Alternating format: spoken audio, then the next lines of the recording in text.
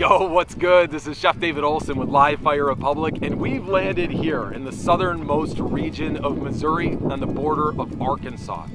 Today, we're at Peace Valley Poultry Farms, an organic, open air, pasture raised turkey farm. And today, we're meeting with farmer Isaiah, who's gonna help us both pick out and harvest our very own bird. Later on this evening, we're cooking the ultimate Thanksgiving feast over live fire. I promise you don't want to miss this. Let's go.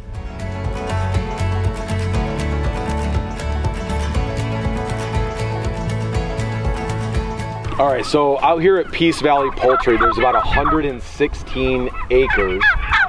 And to me, this is this is how turkey should be raised, right? It's open oh, yeah. air. Uh, they're eating out here in the pasture.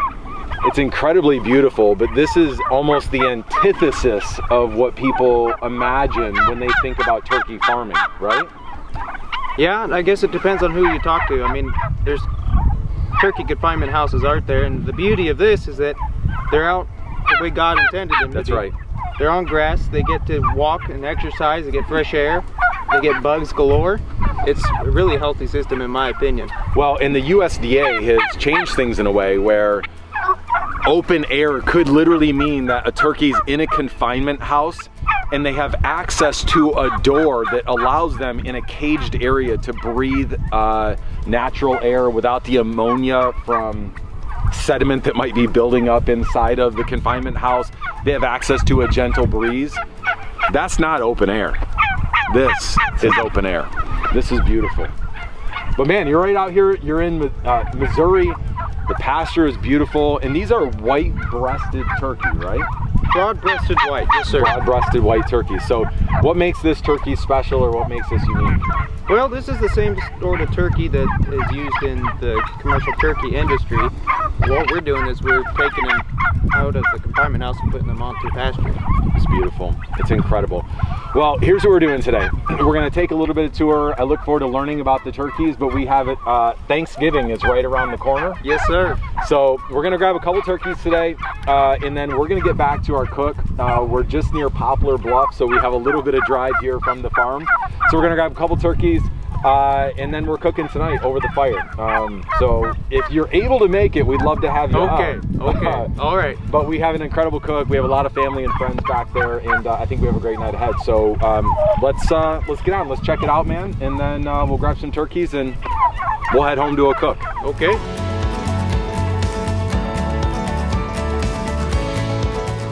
Wow. It's incredible.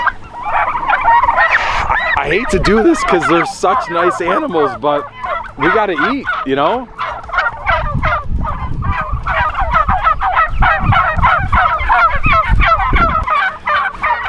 That was too big. Hey, there you go. One hand under the breast. There you go.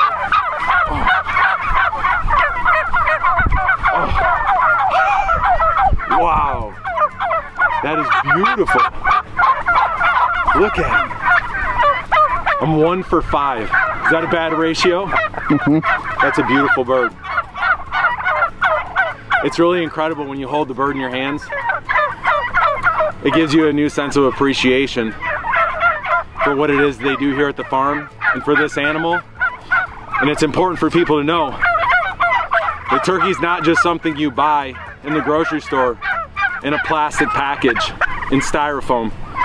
This is a real animal and it takes incredible work for what Isaac does out here at the farm. It gives you a new sense of appreciation and respect for what goes into your Thanksgiving meal. Don't forget it.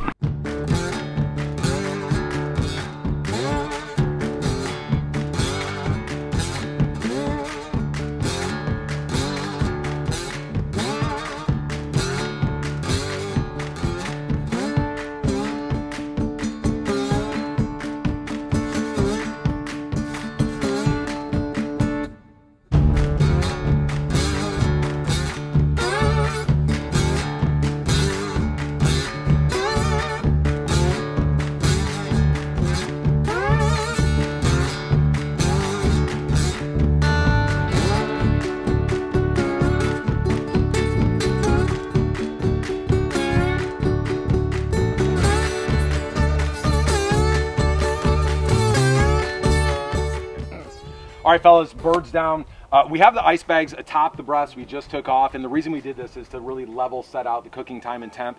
These uh, dark meat legs of this bird uh, in the wings are gonna take just a little bit longer to cook than the lighter white meat in the breasts.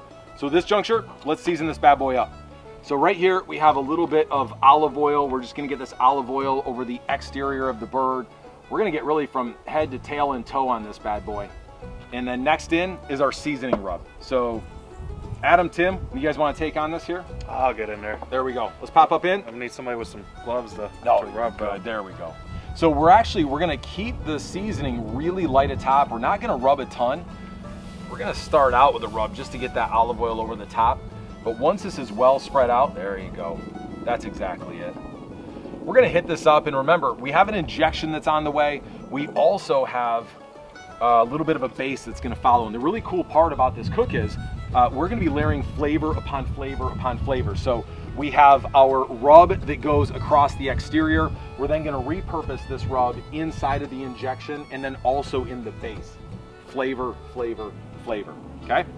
So while we finish up seasoning out this bird here, uh, why don't we get the injection moving? And if we could, um, let's grab that chicken stock, let's grab some of the bourbon, uh, and we'll also use some olive oil in this, okay? All right, go ahead. Uh, Brendan, I'm gonna trade you spots, man. Uh, why don't you grab out our uh, turkey stock right up front, and then let's get a little bit of olive oil in, if we could. How much do you want?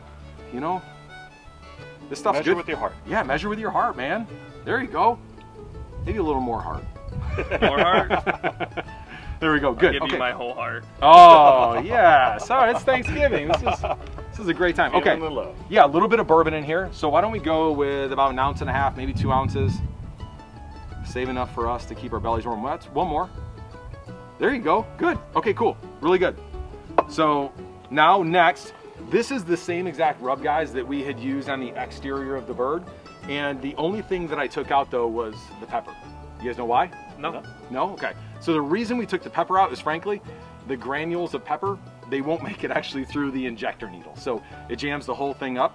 Uh, so we just remove the pepper, we ground this down to a really fine powder, and then we just drop it right here into our seasoning.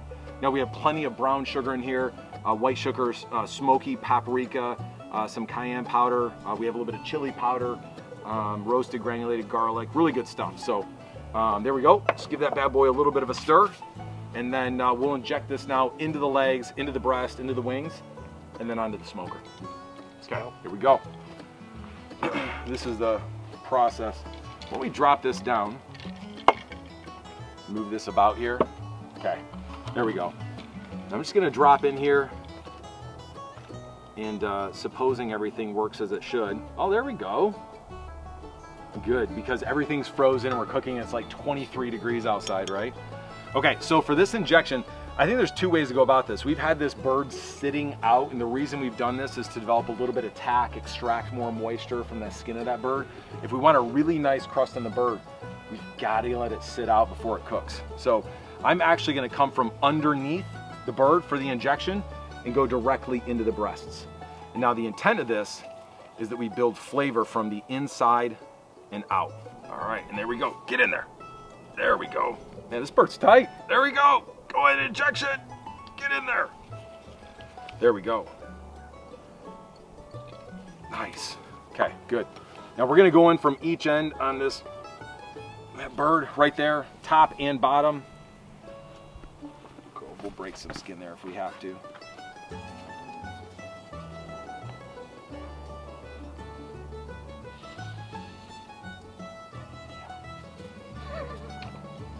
What do you think, man? That sounded really good.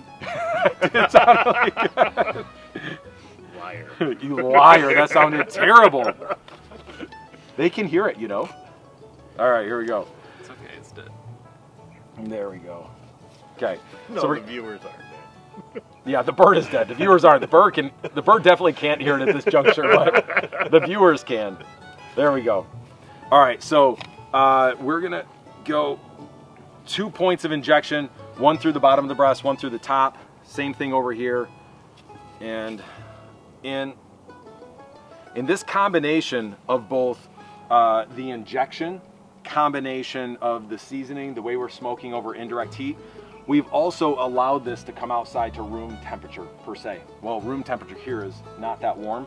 So one of the things that I'll recommend to folks uh, to have a more juicy bird is let this turkey sit and let it sit for two to three hours to elevate up to room temperature. So it is cold out today, we have a beautiful day, but the less time this bird is in the smoker, the more juicy that bird is, right? So if I'm trying to take this bird from 40 degrees in the refrigerator up to 165, that's a long cook time. But if I can get this out 55, 60 degrees and then get it in the smoker, I'm probably cutting about an hour off the time it takes to cook. So.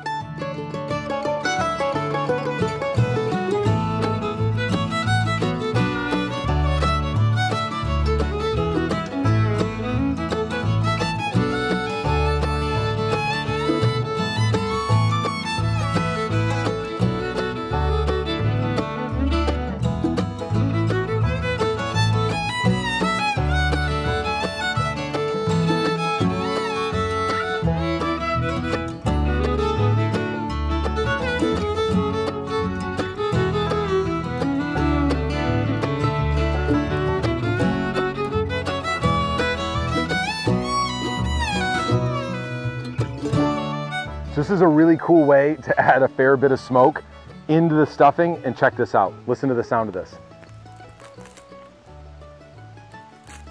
That's what we're looking for.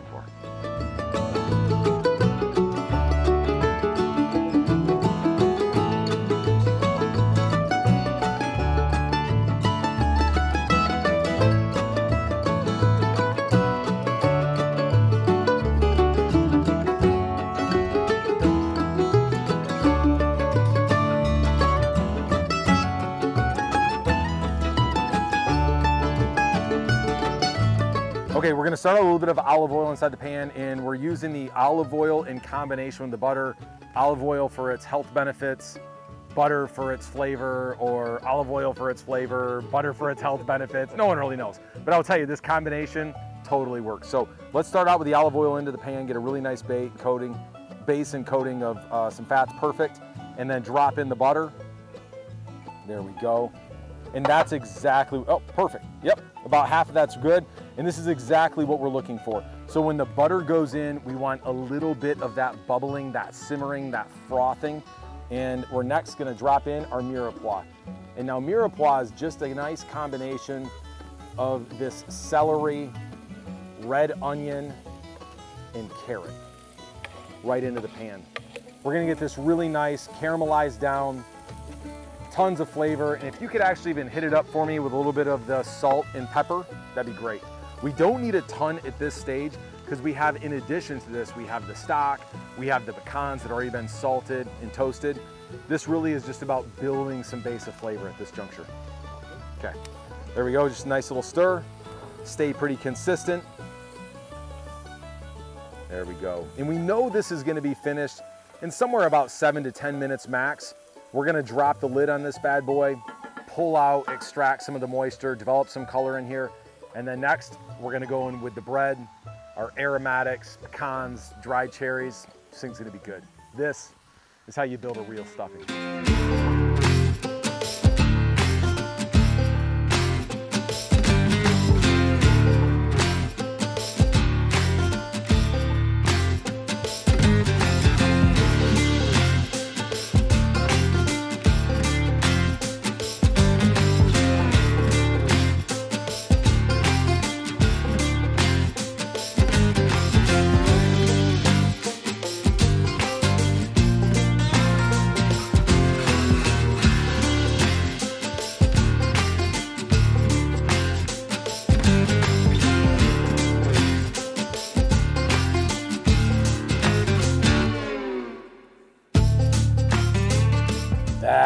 What we're looking for. Check that out. We have this beautiful golden caramelized crust to top the stuffing. We're still just a little bit tender, soft on the inside, but that egg is cooked through. There's so much flavor in there. It's gonna be amazing with the turkey.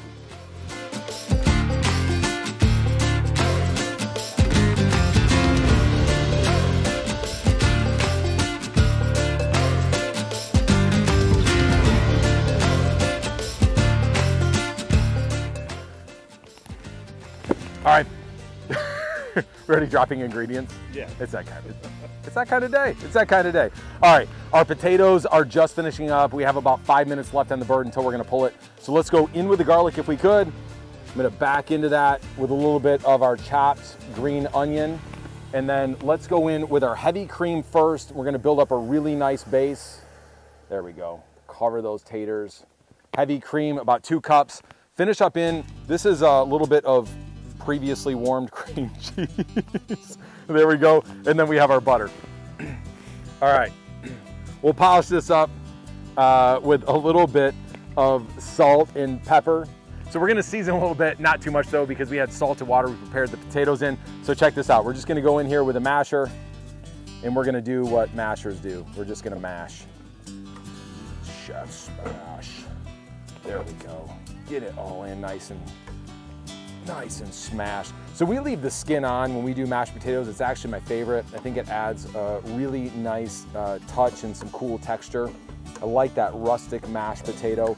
Now we over prepared the potato until it was ultra tender and then folded in all that beautiful, rich, unsalted butter, salt, pepper, roasted minced garlic, heavy cream. But the key in this is we used and maintained inside the pot just a little bit of the boiling liquid. So boiling liquid is key. Maintain just a little bit for your mashed potatoes.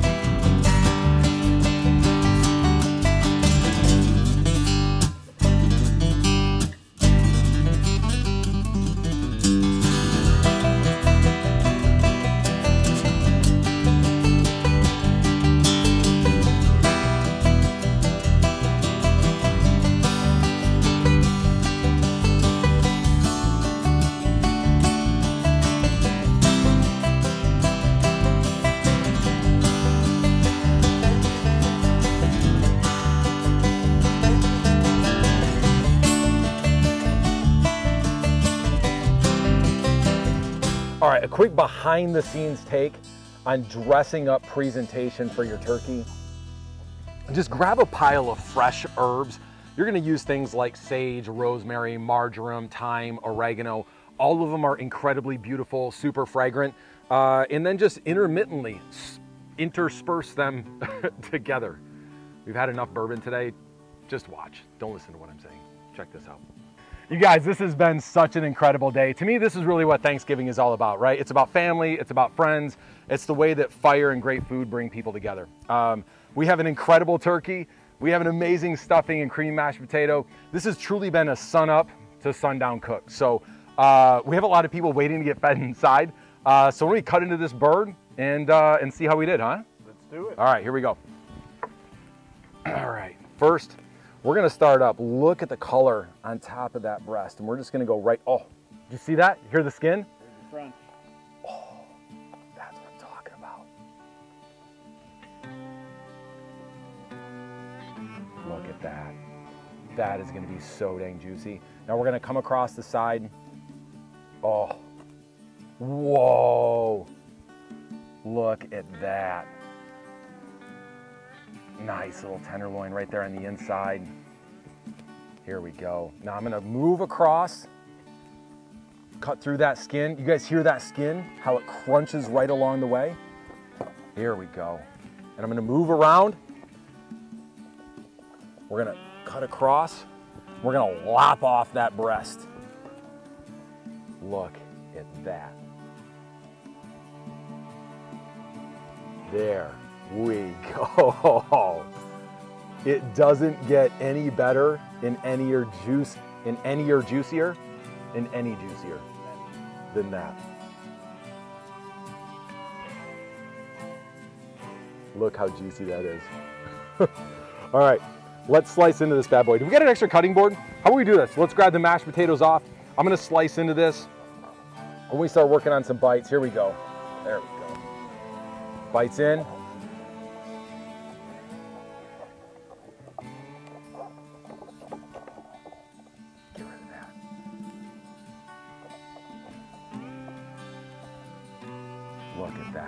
How incredibly juicy that bird is. I'll tell you guys, with that Primo, It's just like it maintains its heat. And because that ceramic maintains the heat throughout the course of that cook, is we're lifting that bird up, right? As we're lifting up that grill to check on the bird, it's not like we're losing that heat in the grill. So when you typically lift up a grill lid, uh, you're losing that heat, you're reapplying heat, and you have this really kind of crazy bit of tension you apply into the protein. Look at how juicy this is. Look at this. Look at that right now, how tender that is. It literally is falling apart in our hands. That, my friends, is how Thanksgiving turkey is done. So, fellas, we carve up some bites. I certainly got enough turkey for all of us. Grab a spoon, grab a fork. I think the job here on this turkey is well done. Uh, so we'll dig in, man. Here we go. Thanksgiving style, huh? Yeah. Here we go. There we go. Be judicious with those bites too. We got some we got some family inside ready to eat. They didn't, they didn't cook all those, so. Why no? Exactly. there we go. Dig in. Where'd our uh, where'd our mashed potatoes go? We gotta get some mashed potatoes too, huh? I got the gloves on still.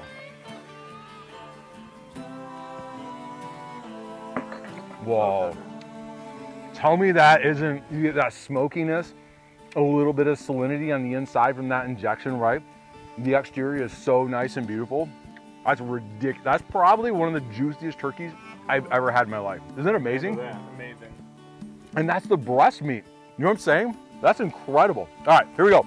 Um, I'm definitely going back to the bird before we're done. Let's get into some taters and get into stuffing. Here we go. Dig in, fellas. What's going on? How creamy those potatoes are. What do you think? Those mashed potatoes. Tell me that is not ridiculously good. The. Really? Yeah, totally. When you get in there, you get that creaminess from that heavy cream, the butter, a little bit of salinity. Bite? Oh, the garlic goes in so good. I feel like I'm missing out though if I don't have some of the stuffing. To me, like a really good stuffing, you get some of that caramelization in that crust, right?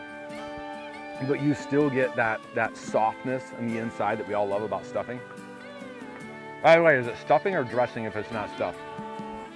Do we know? I I think officially it's uh, dressing, but uh, again, what else is supposed to be? As long as it tastes good, I don't think anybody cares. No, no one does. Well, my friends, like I said on the front end, to me, this is really what family and outdoor cooking is entirely about. Thank you so much for today. My friends, this has been Thanksgiving over live fire. Stay hungry.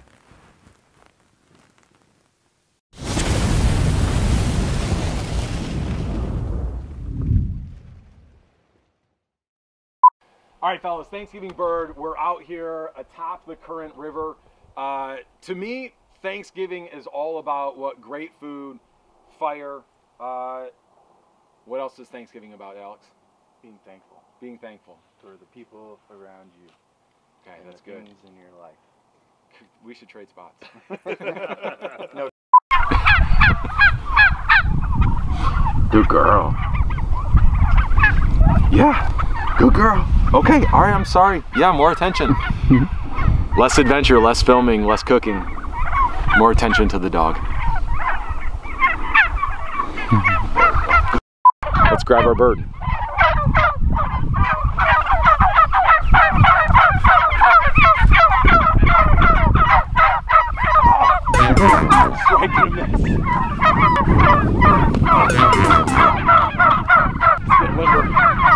Limber.